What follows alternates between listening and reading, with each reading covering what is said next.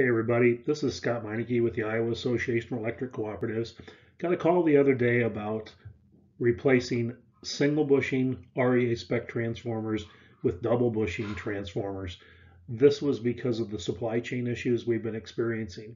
Um, want to make sure that if you are going to do this, you want to contact your USDA representative for your RUS funding and make sure that you've got approval to do this. If you put these up, one of the RUS requirements is that you build to specification of the Rural Electrification Administration. These aren't going to meet that specification. Um, I was told by our rep in Iowa that that shouldn't be a problem uh, because of the supply chain issues. It makes sense to do this, but it's always good to ask for that permission and document that you have that permission before you begin. So what's the difference between a single bushing and a double bushing transformer? Well, obviously it's the number of bushings, right? We have two bushings on the left-hand transformer and one bushing on the right-hand transformer. It's also the hangers. The REA spec has two sets of hangers, one on the left and one on the right. The purpose of those hangers was you mount the transformer on a quadrant of the pole, tipping the secondary bushings towards the primary neutral. That eliminates some of the distance of ground wires that we have, and a lot of times it, it provides a shorter secondary, so it saves us a little bit on wire. Although it's not significant, it is a little bit of a savings, and that's the specification that we use. The transfer on the left is a single set of hangers on the back side, so it puts the secondaries out to the front. They're really good to work with when you're on a uh, overhead uh, transformer from a bucket, um, and, and really it's very simple to install them. The transformer on the right right? Well, let's take a look at the one on the left. On a double bushing, the upper primary bushings, the upper left hand is the H1 and the upper right hand is the H2. On a single bushing transformer, the only insulated primary bushing is the H1. Well, it always takes two connections to make a transformer work, so the H2 is then the tank. So we used to ground the tank, we had the ground loop on the tank, and we, we made certain that the tank was always grounded properly because if it wasn't grounded, that tank could become energized. It is the primary bushing after all, so we could have primary voltage if any open occurred from the tank to the ground or system neutral.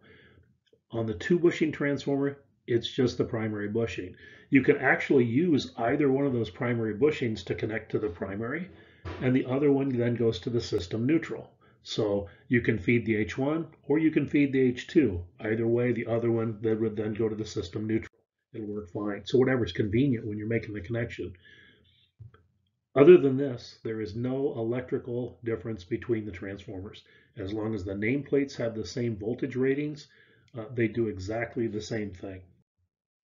So since we don't have any specifications for single phase two bushing transformers in the REA spec book, the following guide is, is for the installation. It may take a bit more ground wire to make the ground loop since the secondary bushings will not be angled towards the primary neutral.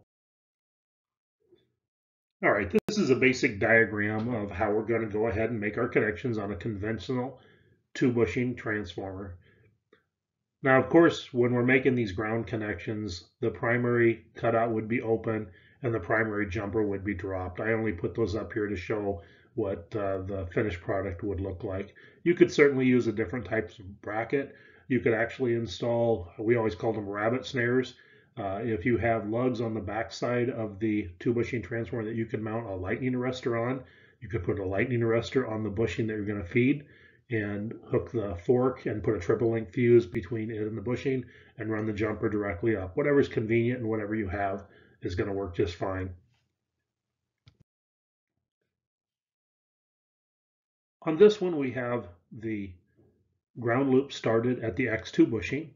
We're going to go down. We're going to hit the lug directly below the X2 bushing.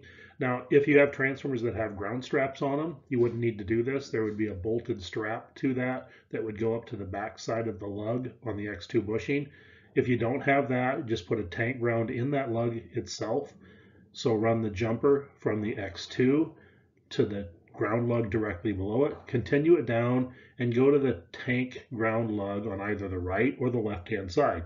In this one, I've shown it going to the right, but if it was more convenient to go to the left side and hit the lug there, that would be fine as well. go around the back side of the transformer, continue this with one solid wire, go around the back of the transformer and make two connections as you go up towards the system neutral following the pole ground on the back side of that pole. Continue to the system neutral, hit the system neutral, squeeze a connection there. Now continue it on up to the H2 bushing. We're going to feed through that H2 bushing. So it's just pull the lug out, run the wire through it, continue down, following the bushing down, go across the top of the tank and end in the X2 bushing. Just like we did with the ground loops on a single bushing transformer, we started, we went down around, two connections up the system ground on the pole, we go to the system neutral, and then we went right back to the X2. In this case, we're going to go to the transformer, follow the transformer up to the H1 bushing, go through the H1 bushing, cross the top, and back down to the X2, and we've completed the loop. At this time, we've completed the connection, right? So there's kind of the full thing together right there. Now, where do you put the transformer on the pole? Well, it depends on where the secondaries are. It's not as convenient for us this time. Um, kind of showed a, a diagram here that if it's off the backside of the pole, anywhere in that range, uh, as shown with the shadowed, shadowed triangle there, um, you can make those connections. And I would put the transformer on the opposite side, run the secondaries around, do your connections, whatever's good. Now, mounting the cutout on the pole, really whatever's convenient for that cutout. You can either feed the H1 or the H2. It does not matter. Whatever you do to one, you have to ground the other one. As I said, it really won't matter. If it's on the other side of the pole, well then feed the you can you can do it as shown here whatever's convenient again you can feed either the h1 or the h2 it does not matter at all. If it's on the dead end you know here i'm showing it uh, coming off the bottom. Um, i would hang the transformer on the other side of the secondary at that point.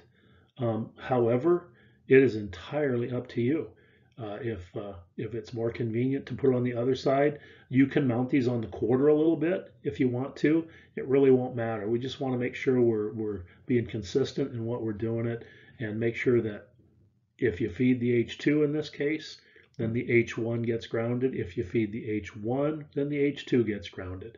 Either way, we'll continue that loop and always make sure we connect the primary neutral, the system neutral, and, and the secondary neutral together. So all together and, and to the ground as well. Uh, we just do multi-grounded systems. If you have any other questions, hey, feel free to give me a call. Um, I'll try to work through all of these that we can.